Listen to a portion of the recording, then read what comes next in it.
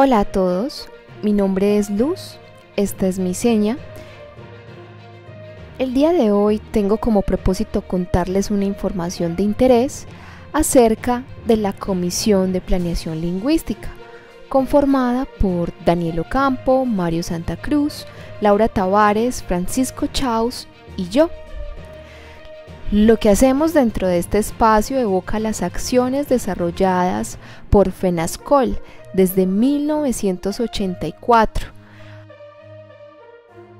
a favor de la promoción y divulgación de la lengua de señas colombiana a nivel nacional, así como el aprendizaje de la lengua de señas por parte de la población allente. Por eso, siendo la Comisión de Planeación Lingüística, somos responsables de trabajar en torno a cuatro aspectos. El primero es la adquisición de la lengua, pensando en cómo se aprende la lengua de señas a través de los cursos de LSC. El segundo aspecto es el corpus, es decir, la recopilación de palabras, neologismos, señas antiguas, todas ellas recogerlas en un corpus propio de la lengua de señas colombiana. El tercero se enmarca en acciones.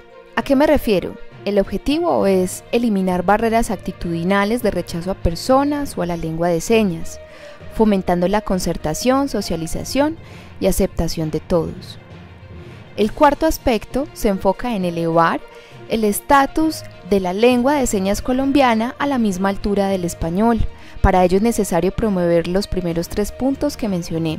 Por ejemplo, FENASCOL desde la comisión ha realizado acciones como espacios frecuentes de capacitación a personas sordas, ha publicado diccionarios, libros y otros materiales importantes para la formación en lengua de señas colombiana. Actualmente la comisión tiene la tarea de fomentar estos cuatro propósitos y que no nos centremos en el corpus y la creación de neologismos únicamente.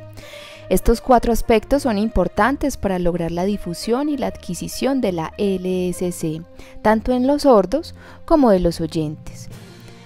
De esta manera, esperamos que ustedes puedan ver en un futuro nuestro trabajo como comisión. Chao.